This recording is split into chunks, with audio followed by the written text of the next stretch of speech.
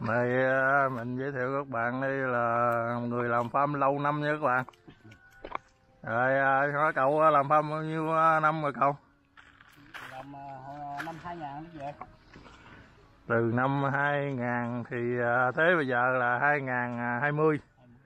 À, giờ đã trải qua 20 năm làm farm rồi à, mọi người. Trong à, 20 năm làm farm thì thấy cuộc sống nó về farm này nó khổ không cậu?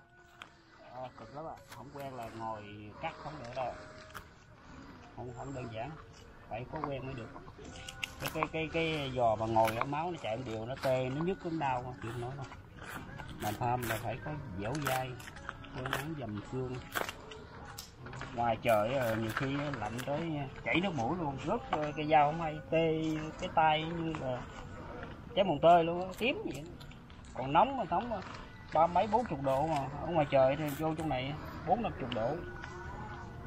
Ồ, nóng. Ừ. dữ dội lắm à nóng là kiến à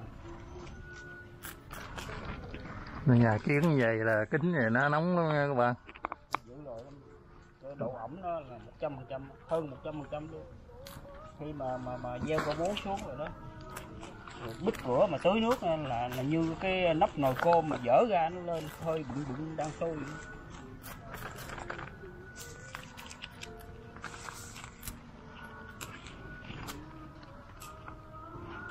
Trong 20 năm mà tính ra một năm như vậy là, cha là 20 năm cũng khủng lắm à.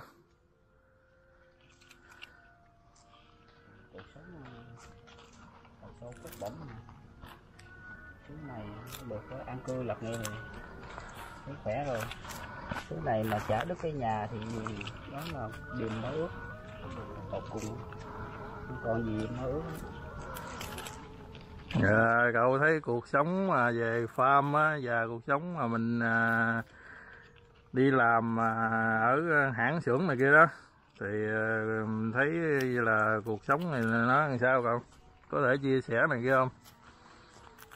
Để à, cho làm farm và mình à, đi làm này kia vậy đó cái cuộc sống làm farm á cho mọi người biết vậy đó. cái ờ, sức khỏe mình có thì mình làm nó thu nhập nó là cũng ờ, cao lắm nhưng mà ngược lại làm hãng thì nó có mức độ đó.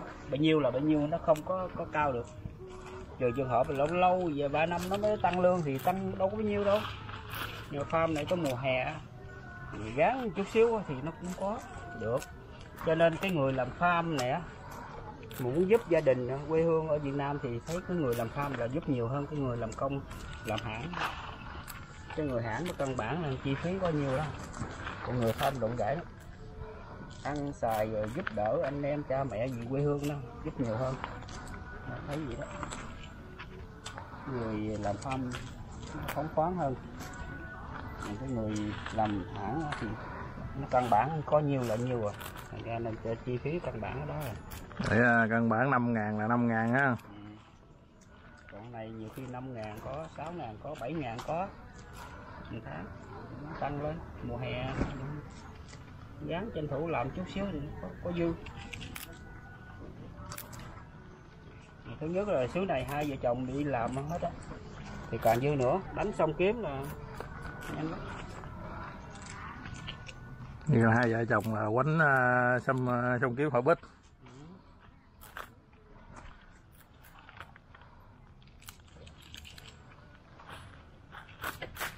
Mà một mình nó làm cũng quậy lắm mà, mới chưa có giáo mua nhà nó làm cũng mệt à. Trả cũng mệt lắm.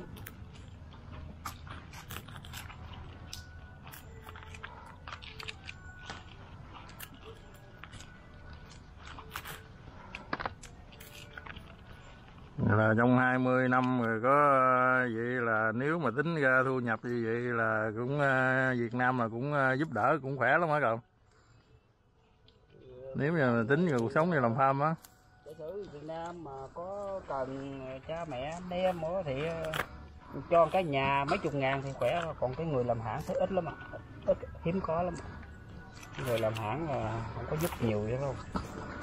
Chút chút, chút vài ba ngàn chứ.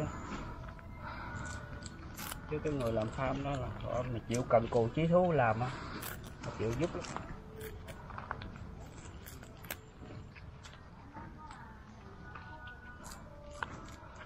Cái anh xa xa đó cũng uh, cả chục năm rồi đó, các bạn.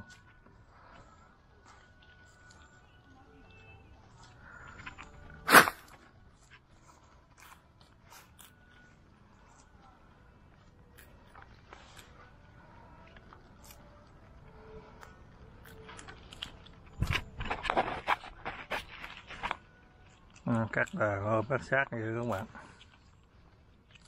cắt rồi cái nó tưới nước ép cửa là nó lên lại. Nên ờ, cái làm nhà kiến này ờ, trồng có đồ việt. Trồng cái đồ việt đồ châu á nhiều. Cái, đồ xứ nóng. Có có mũ trùm để nó lạnh chết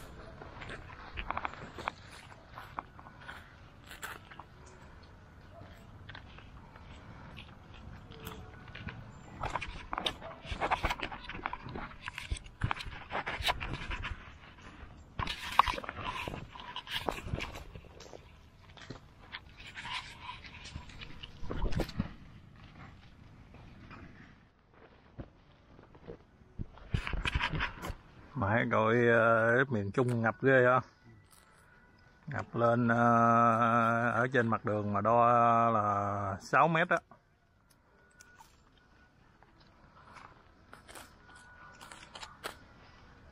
Ờ, năm nay là đặc biệt là dữ hơn ờ, uh, 1999 á.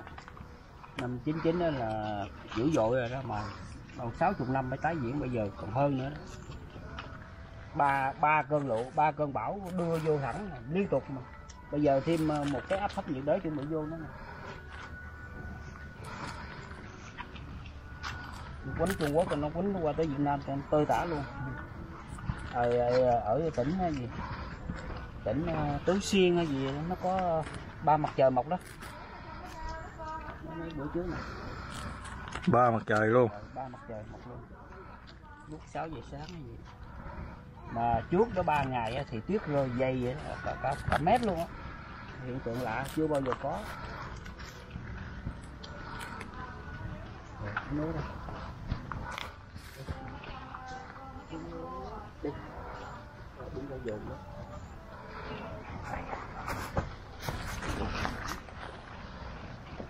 Đúng không?